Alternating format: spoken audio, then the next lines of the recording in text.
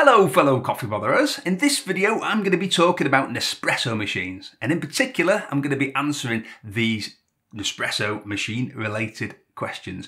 One, are Nespresso machines a good option? Two, what kind of Nespresso machine should you go for? And three, which are the best Nespresso machines?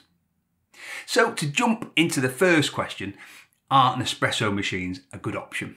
In my opinion, yes, if you want small espresso sized coffees, you want the best possible taste and variety at this kind of price point, and you like Nespresso coffee and you're not fussed about freshly ground coffee. I say small espresso sized coffees because that's what Nespresso Original is about. The coffee it makes are all different espresso espresso ratios espresso, lungo, some of them do ristretto. Again, it's all espresso style coffee. Yes, you can add water to one for a bigger coffee, but we're talking very small doses. So if you want in a 10 to 12 ounce cup and you want reasonably strong coffee, you might have to reload, meaning use more than one pod. The great thing about original Nespresso, though, is there's a massive amount of compatible pods thanks to Dualit, who had the guts to fight a very scary David and Goliath legal battle. And if you want them, cheap, you can get them really, really cheap. Talking about taste and variety, these two go hand in hand because there's so much variety out there with so many firms now supplying compatible pods, including roasters. You're bound to be able to find pods that you love the taste of. When I talk about liking Nespresso coffee, I'm not talking about the taste of the coffee itself. As I've mentioned, there's a huge amount of variety thanks to the all the compatible pods on top of the Nespresso range, which is also pretty big. I'm talking about Nespresso coffee as a brew method. Nespresso isn't espresso, it's really its own unique brew type. And Nespresso Original is similar to espresso, but it's not quite the same. It's slightly more mellow in terms of intensity compared to espresso. And I'm not meaning to put Nespresso down there. Actually, I think Nespresso coffee probably better matches the palate of the mainstream or most of the mainstream coffee drinking market than traditional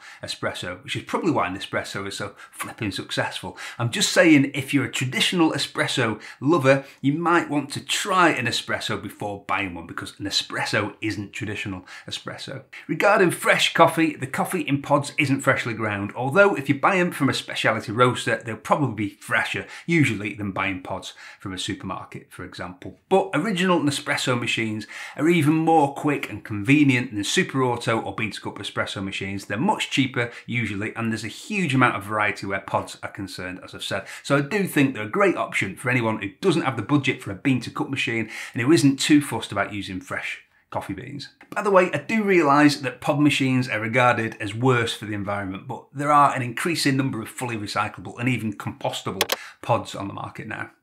Number two, which type of Nespresso machine should you go for? And I'm answering this question because I've heard from quite a few people who thought they were buying Nespresso Original who ended up with the newer Nespresso Vertuo machines. Personally, and this is just my personal preference, I wouldn't want a Vertuo machine. I don't like them. I really do like original Nespresso. I think they're mega convenient, they're fast, the machines are generally quite reliable and durable given the cost, and I think the coffee is pretty good as long as you find pods that you like. And as I've said, that shouldn't be a problem as there's so much choice out there. The Vertuo machines, though, are a slightly different story. What these are mainly about are bigger volume pods, the big mug sized pods and the carafe pods. This is the big difference between Vertuo and Nespresso Original. If you want short espresso style coffee, then I don't know why, why anyone would go with the new Vertuo over Nespresso Original, really, because you're locked into using only Nespresso pods because there are no compatibles yet. If you want bigger mugs, just keep in mind that the bigger mug pods and the carafe pods, in my humble opinion, are more like Americano than anything else. So if you prefer filter and you were thinking that the carafe pods would deliver this kind of coffee, I'd recommend going to an espresso lounge and just tasting that coffee first to make sure you like it before buying one. Personally, I don't think Nespresso Vertuo is anywhere near as good as Nespresso Original. I don't like the way the pods are loaded, I don't like the weird noise it makes, I'm not a fan of the thick, weird crema foam it produces, I don't like the lack of machine choice, and it lacks a huge variety that Nespresso Original has thanks to the compatible pods.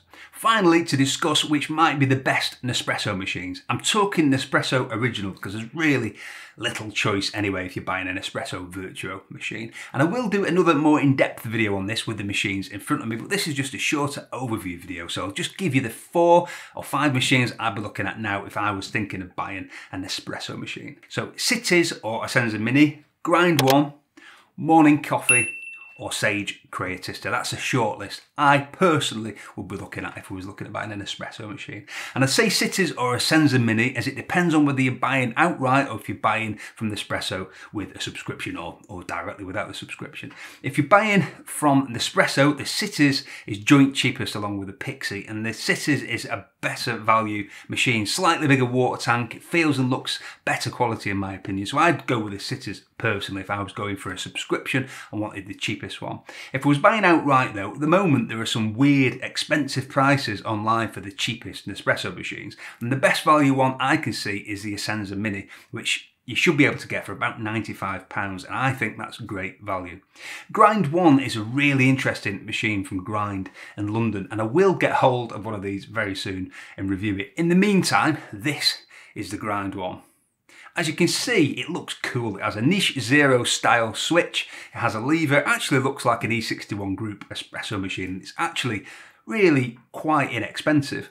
Unlike most Nespresso machines, it's not mostly plastic, it's stainless steel. And personally, if I was going to spend a few hundred quid on an espresso machine, a Nespresso machine, this one would be on my shortlist. Okay, it's not the cheapest, and if I wanted the cheapest, I'd get the Essenza for 95 quid, but still, it's not all that pricey comparatively speaking. This is a morning Nespresso machine. This is about £350 in the UK at the time of filming. Similar in dollars, I think about $370, but this is the Nespresso machine for home barista geekery.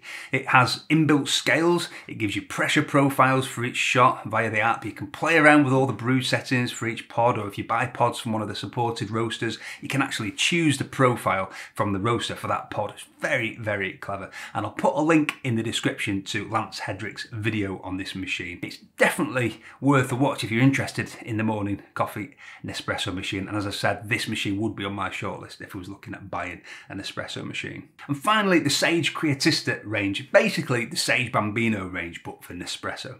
There are three machines in the range. The Plus and the Pro are the fanciest in terms of looks and controls, but for me the Creatista Uno is probably the most interested as it has the same core features as the others, including the steaming, the auto steaming one, but it's quite a bit cheaper.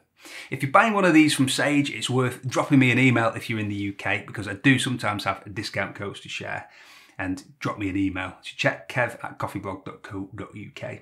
There are loads more Nespresso machines, of course, and I'll link below to my blog post on them, but I will be doing a video in the near future on various Nespresso machines, including the ones I've just mentioned. So there you go. If you were considering buying a Nespresso machine, hopefully you'll find this helpful. Thank you very much for watching, and please don't forget to click the like button. Thanks. It's a well-known fact that clicking the like button on any of my videos improves the taste of your coffee, and 9 out of 10 dentists would agree. If you've enjoyed this video, then why not not click here to watch another one. Don't forget to become an official Coffee Botherer. You need to click this image around here somewhere of my face to subscribe. Tatty bye.